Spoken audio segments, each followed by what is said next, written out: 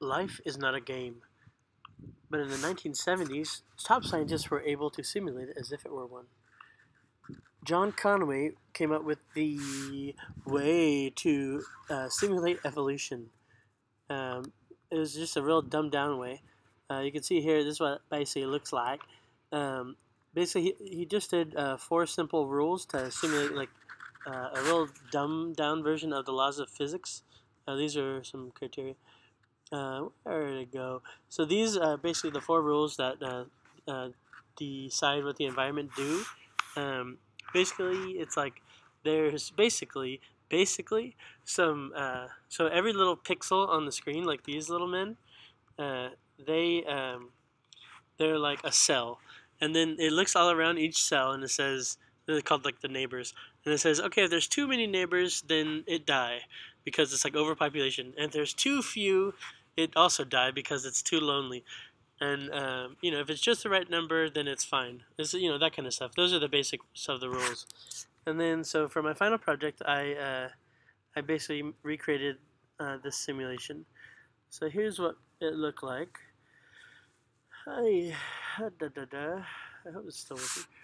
Um, so this is what it looks like. And I did so all it depends on uh, it's a game but it's a zero player game because all it matters is uh, how it starts so let's start off with just random.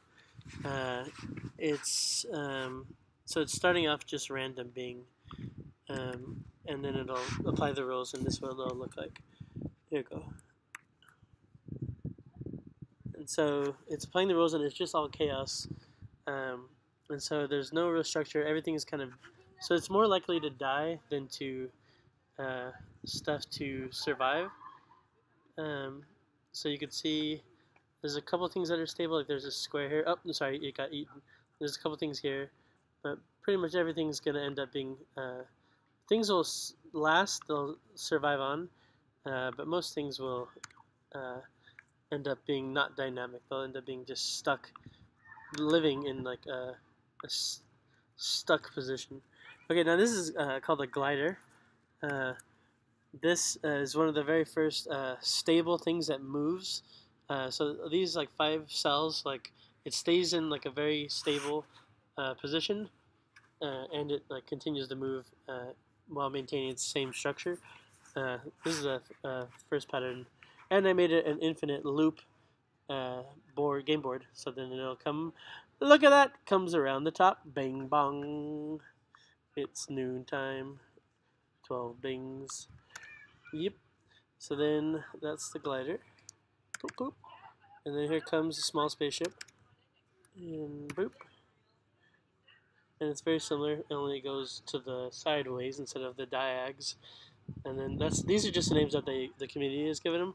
There's so many like people uh, do these evolution simulations on like supercomputers, and they I don't know how they look for them. Like they use computers, or they just do it by hand or by eyeballs, or my balls um, and somehow they find them. And then uh, you can imagine they do it over like super long term, long, uh, like long evolutionary scales uh, in the supercomputer at least.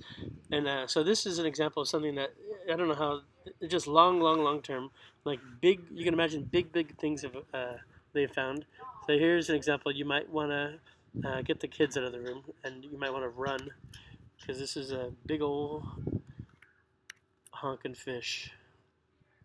And these aren't animated, these aren't pre-programmed animated things, keep in mind. These are just uh, cells that either live or die. So like these are just patterns that either live or die based on what their neighbors are doing.